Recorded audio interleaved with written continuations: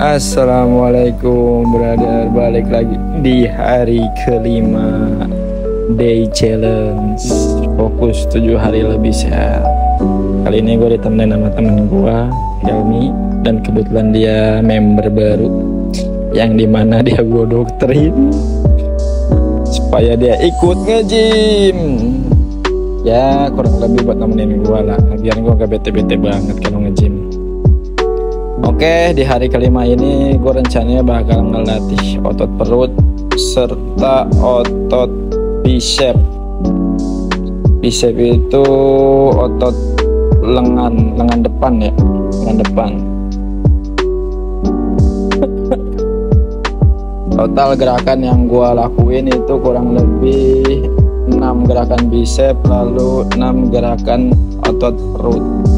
Sadis masuk ke dalam gerakan plank. Plank ini gue lakukan selama satu menit 3 set.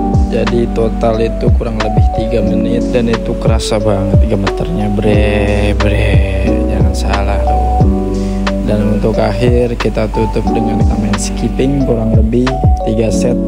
Masing-masing set satu menit.